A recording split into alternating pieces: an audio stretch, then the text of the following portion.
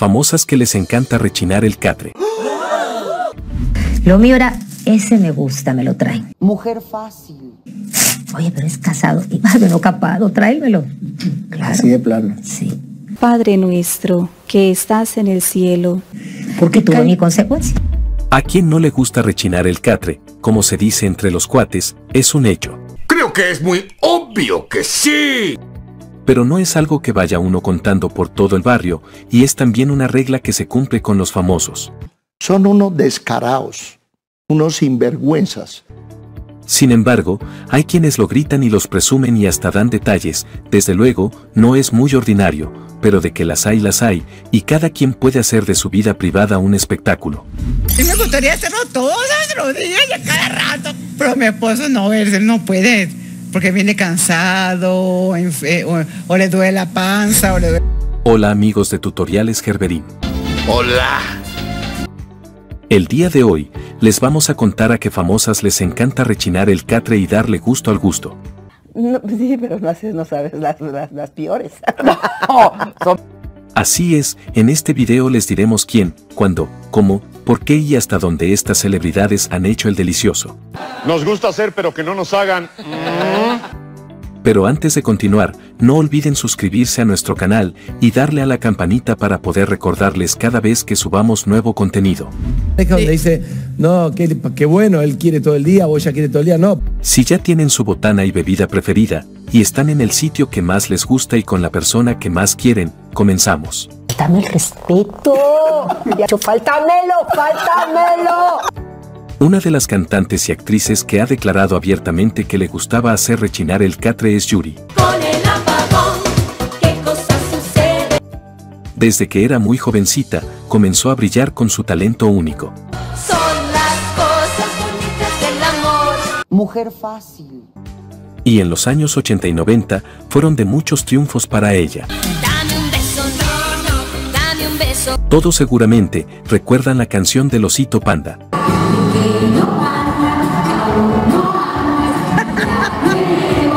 Yuri, quien en una etapa de su carrera como cantante fue comparada con Madonna por salir a sus espectáculos casi sin prendas, reveló que cuando un hombre le gustaba, aceptaba tener una relación pasajera, incluso con hombres casados. Debería darte vergüenza. Entonces, se lo conté a mi esposo. Dije, siéntate y te voy a decir algo. Necesito que cuando tú y yo estemos discutiendo, hay una peleadita por ahí. Eso no le importaba. Cuando quería algo, lo tomaba. ¿Y a quién le importa casarse? Hay que vivir, divertirse. Las mujeres tenemos muchas cosas ocultas.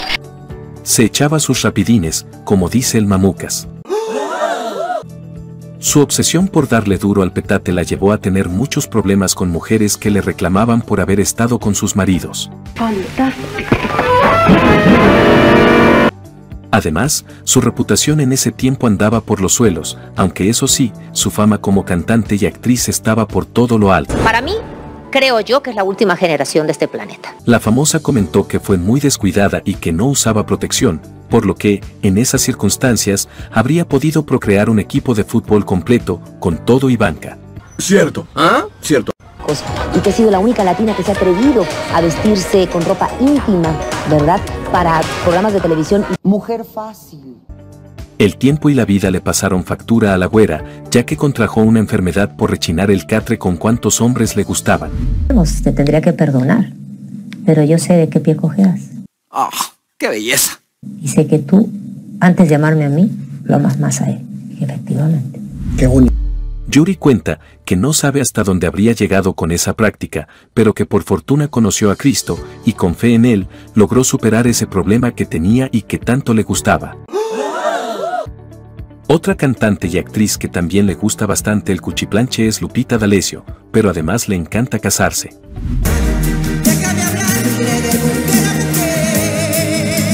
¡Tengo miedo!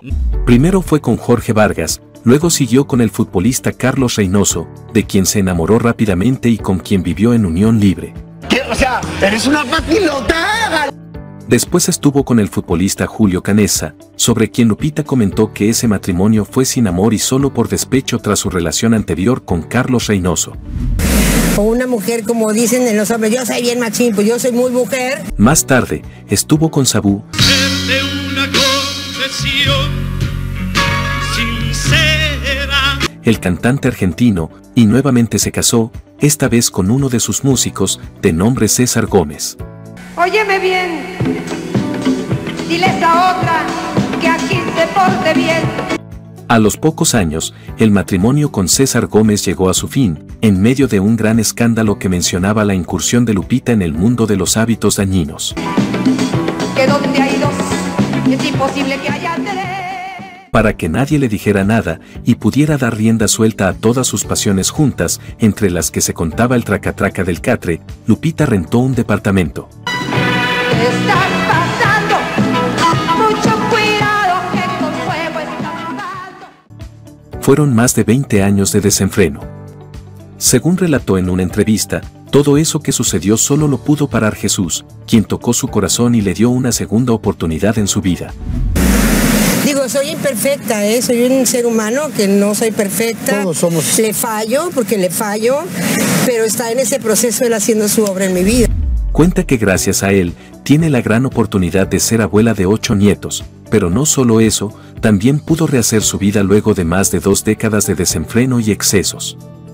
La siguiente en la lista de las que han dicho que les encanta darle vuelo a la hilacha, es la vedette cubana Niurka, quien ha revelado a los cuatro vientos esta afición que tiene. Y como me comía la anaconda tres veces allá en la casa. Reputación. Hace poco, Niurka comentó que le gusta la pasión de los fanáticos que la siguen y la desean, y que, a su vez, ella les corresponde. A los que están de ofrecidos, se los ha comido. ¡Ah! ¡Qué belleza! La cubana dio detalles de cómo algunos de sus aficionados terminaron en su casa y después en su cama, y no lo dijo con pena, sino con presunción. Se enamoraron. Pues no, pues sí, nos enamoramos, pero hubo una química feromonal muy real. Ok.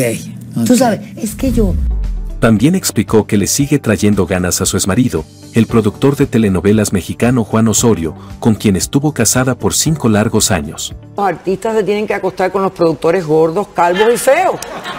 Mi marido. ¡No! Terminaron por una supuesta infidelidad de la bailarina con su compañero de trabajo, Bob Hilarios. Son unos descarados, unos sinvergüenzas. Niurka dijo que nunca estuvo enamorada de Osorio, simplemente se dejó impresionar por cómo la trataba, a pesar de que él tenía hijos de otros matrimonios. porque tú sabes, me encanta. Yo sé que le gusta. Aunque después de Osorio, Niurka estuvo casada con Bob Hilarios de 2004 a 2006 y con Yanixan Texido de 2007 a 2009, es muy frecuente que aparezca con un novio nuevo, y no lo oculta, al contrario, lo presume. Mantenido. Una vez le dijeron a la bailarina que tenía que aflojarlas para que le arreglaran un trámite en la oficina de migración y ella dijo que las dio con mucho gusto. Las verdades a veces no son tan amables, son crueles. Llega a la lista de gustosas del rechine de la alcoba Susana Zabaleta, quien declara cada vez que puede que le encanta hacer el delicioso con singular alegría. Que allá anda alguien ahí que quiera un cariño y un amor muy Y grande. de ella. Hola, preciosa. ¿Cómo amaneciste? ¿Ves? Me estás echando a perder la ¿Quieres vida. ca- La cantante, actriz y modelo, ha hecho de esta afición varios espectáculos, principalmente en teatro, en donde estos temas se pueden abordar con cierta libertad, ya que en la televisión comercial es bastante complicado. Tiene más de siete días a ser mayores. Con su actual novio, José Roberto Pisano, Zabaleta ha puesto obras en donde aborda este tema tabú en el teatro libanés. Susana ha dicho en muchas entrevistas que le encanta el cuchi cuchi y que en estas puestas en escena se trata de un ejercicio increíble en el cual todos podemos atacarnos de risa de nosotros mismos. A cierta edad, uno no se mete cualquier cosa a la boca, ¿ok? Porque hemos hecho y dicho las mismas cosas en algún momento, aunque critiquemos, hay que disfrutar y tener relaciones en paz y no a escondidas y con miedo. Pero a esta actriz y cantante no le gusta cualquier hombre. Ay, no, señoras, no, no esperen a que ellos les digan, pónganse unos tacones y jueguen a ser alguien, pero no para que a ellos les guste, sino porque a ti te guste, ¿no? Por ejemplo, comentó que no le llamaban la atención los musculosos y limpiecitos como William Levy o Aaron Díaz, sino los machos cochinones, como Damián Alcázar, esos que huelan como Chucho Ochoa. No me vengan con cuentos de que son verdades. La siguiente famosa obtuvo en 2020 el récord Guinness por tener los senos más grandes del mundo. Puras estupideces. En ese tiempo llevaba 40 operaciones estéticas. En todos lados hay gente inteligente y gente con el cerebro vacío como tú. La argentina cantante, actriz, modelo de glamour y presentadora Sabrina Sabrok, de más de 50 años de edad, llegó joven a México, donde empezó haciendo programas en horarios familiares. Y a cosas así, pues. ¿Porque así duermes o para hacerlo? No, para hacerlo. O sea, hoy se hace a fuerzas. Sí, sí, sí, seguro. ¿Cuánto es su promedio normal de tiempo? Digo, nada más para todo. Luego, comenzó a trabajar en programas subidos de tono y enseguida en programas nocturnos. Porque yo tengo el capricho de convertirme en una dama de sociedad aristócrata. Le gustaba tanto el cuchiplanche que comenzó a hacer videos para adultos. Y en la actualidad ya no se le ve en la tele, solo en estos videos que vende a muy buen precio, pagados por su público adulto. Mujer fácil. A Sabrina le da igual estar con mujeres o hombres y ha tenido muchísimas parejas. Sí, no, nos, nos vamos eh, a- al estudio a grabar y a editar los videos y eso. Debería darte vergüenza. En una revista declaró que en una ocasión una mujer le contagió una infección bárbara, tan extraña que ni el médico sabía qué tipo de enfermedad era y la mandó a una abstinencia de más de 15 días. Ha confesado que hace los videos por dinero, pero también porque le fascina rechinar el catre. Este planeta no va a durar mucho, porque ya no aguanta. Lucía Méndez, actriz, cantante y modelo, No es ni cantante, eh, ni tampoco impone una moda. ha dado varias declaraciones sobre sus amantes y amores. Según el postulado del Divo de Juárez, lo que se ve no se juzga, le encanta hacer rechinar el catre.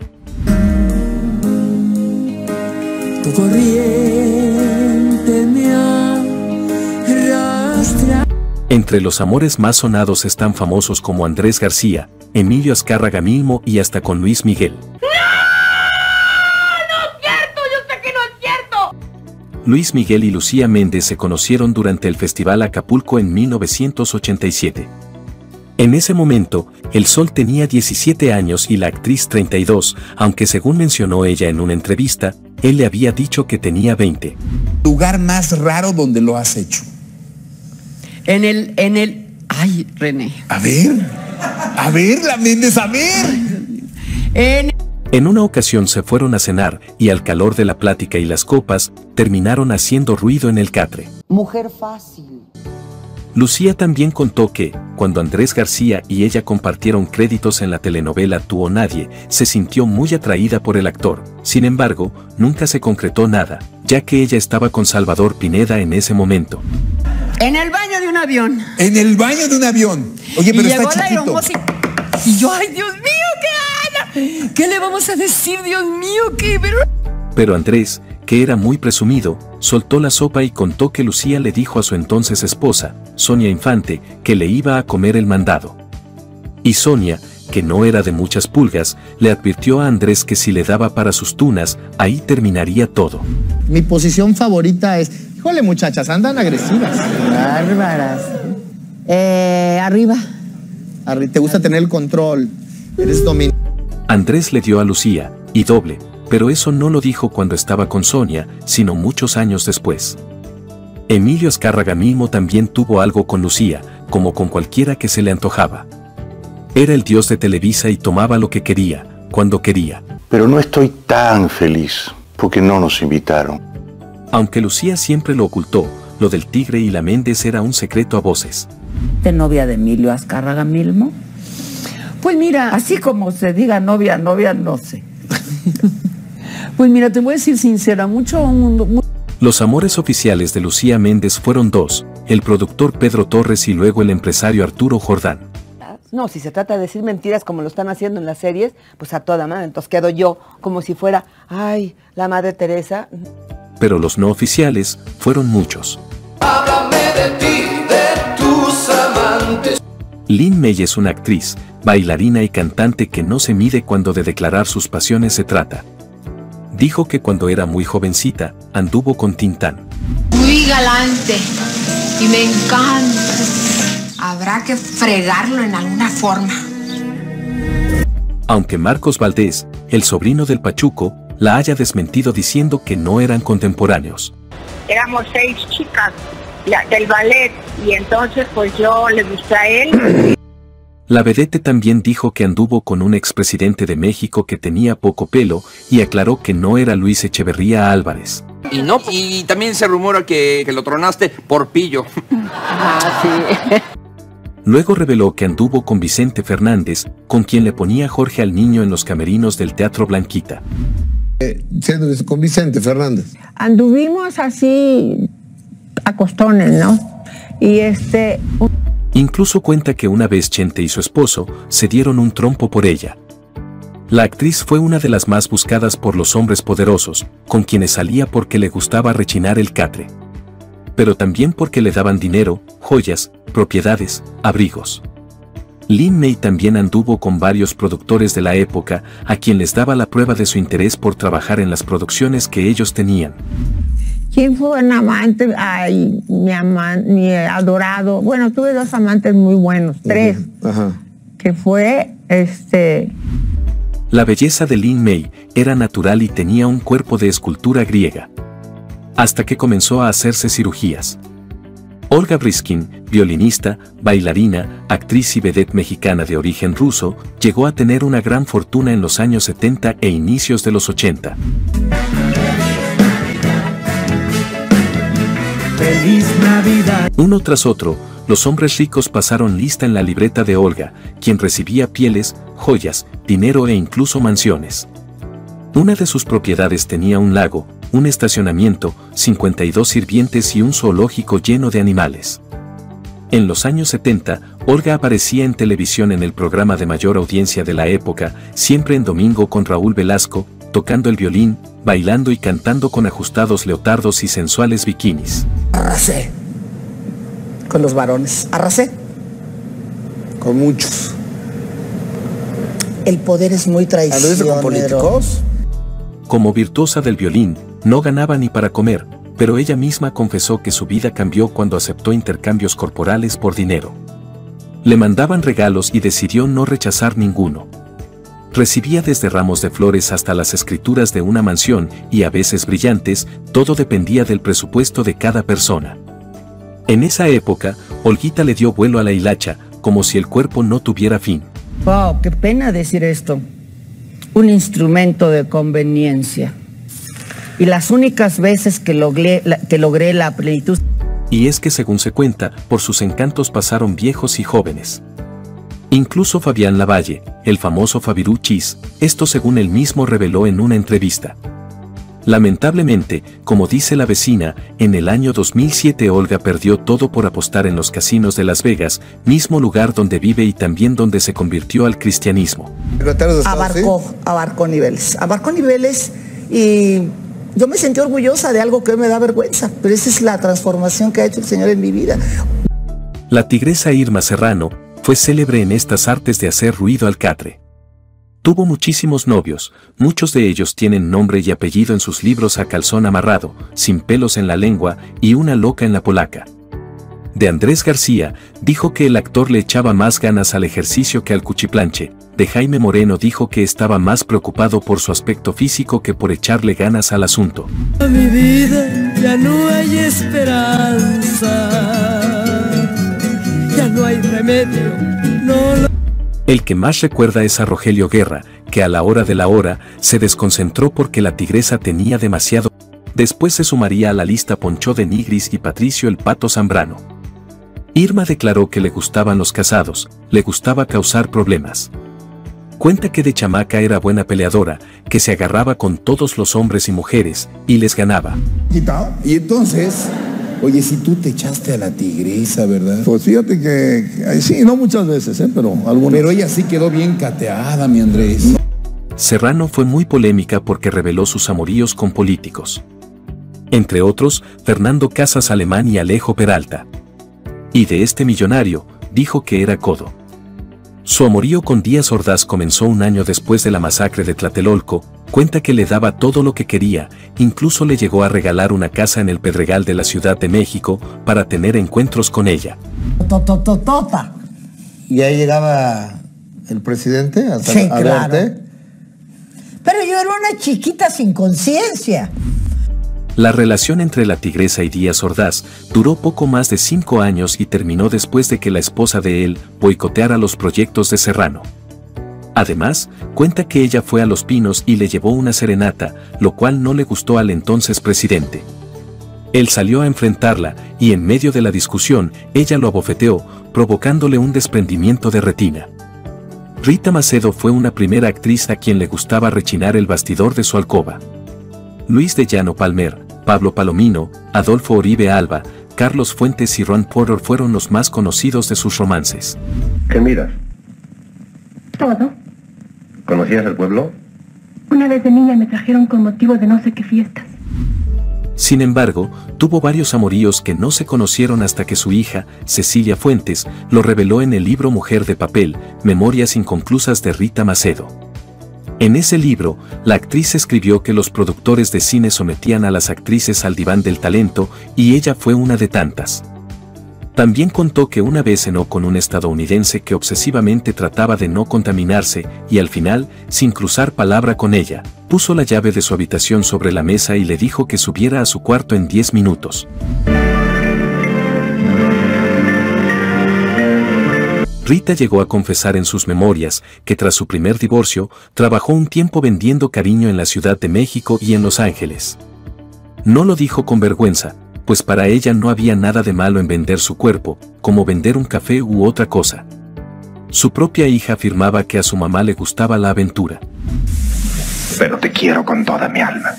¡Mientes! ¡No te creo! No miento, Anita. Y tú lo sabes. Rechinar el catre es un gusto y un placer universal, y en esto las extranjeras no cantan mal las rancheras. Entre las más aficionadas al ruido del catre está Lindsay Lohan, quien, según su exnovio Raleigh Giles, quería dar rienda suelta a sus pasiones varias veces al día. Riley pensó que era solo con él, pero se sabe que este comportamiento de Lohan es algo recurrente en sus relaciones con todos los hombres con los que ha estado. Oh God, it's the seventh time it's rung. You know it, Sybil. Where is she? Our house, North London. I told her I needed to be near. Durante algún tiempo, la actriz de Chapter 27 estuvo entrando y saliendo de centros de rehabilitación, donde permanecía por temporadas prolongadas, para luego salir y volver a entrar. Se sabe que la falta de cositas dañinas para su salud aumentaba sus ganas de darle vuelo a la hilacha, y cuando estaba en calidad de paciente, buscaba obsesivamente a los demás para saciarse. Los especialistas decían que Lindsay Lohan estaba sustituyendo un hábito por otro, y que ese era un comportamiento muy natural en personas descontroladas que intentan dejar algo que les afecta. Please, Simon. No. It's not like your family. No. A pesar de haber estado con diferentes mujeres, Lohan dijo que no tenía preferencias distintas, pero que le encantaba tener experiencias diversas. La ex princesa del pop, Britney Spears, es una de las famosas que también le ponía Jorge al niño con singular alegría. La intensidad aumentaba durante las giras, al calor de la adrenalina y las cositas prohibidas que abundaban antes y después de sus conciertos.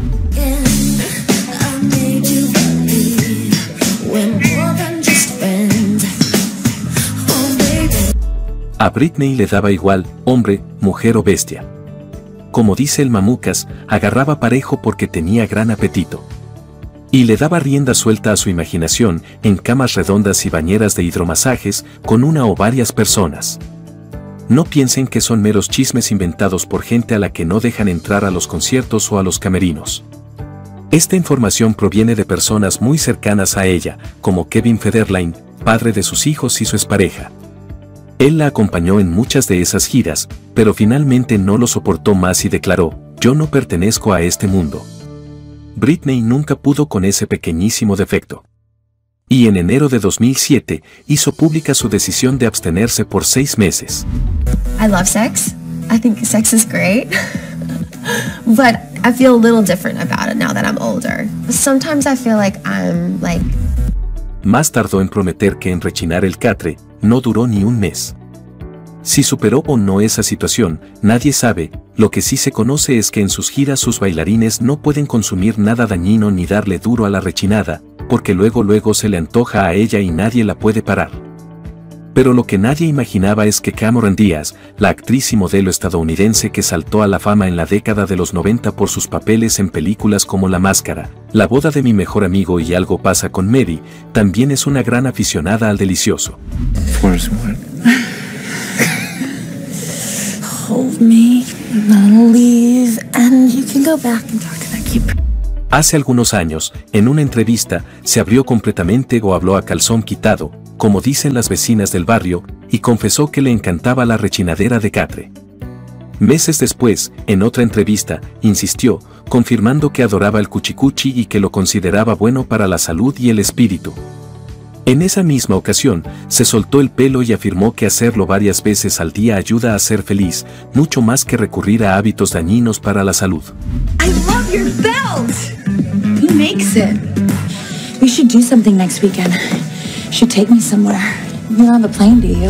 Cameron dijo que cuando se trata de darle lo suyo al cuerpo, cualquier rincón es bueno, y que incluso lo ha hecho dentro de una aeronave.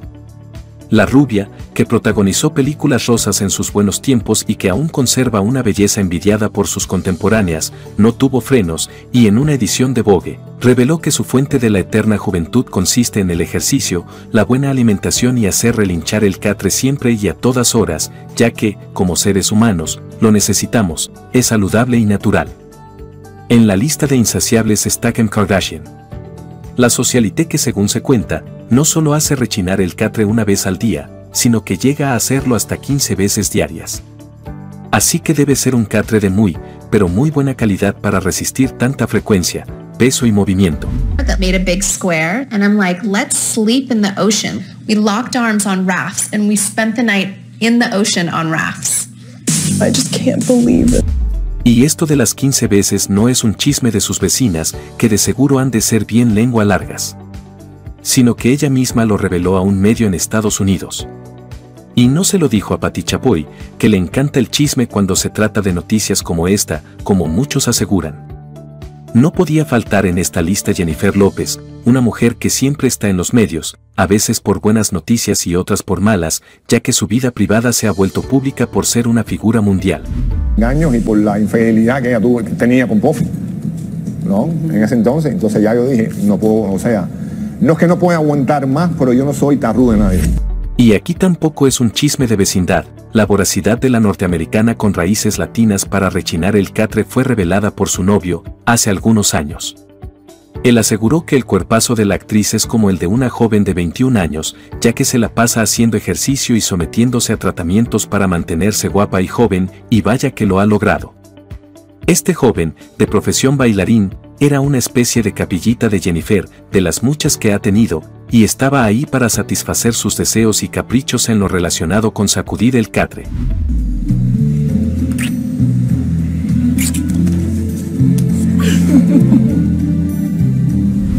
Porque para otras cuestiones sociales, andaba detrás de Bradley Cooper, después de que anunció su divorcio del flaco Mark Anthony, quien, después de siete años de matrimonio, dicen que se lo chupó la bruja, como dirían las vecinas. Bueno amigos, esperamos que hayan disfrutado este video. Si tienen un comentario, no olviden dejarlo en el recuadro, los leemos todos, porque para nosotros es un placer conocer su opinión. Y recuerden suscribirse a nuestro canal, darle a la campanita y motivarnos a seguir produciendo más videos como estos, regalándonos un like. Se despide por hoy, su locutor favorito. Hasta la próxima.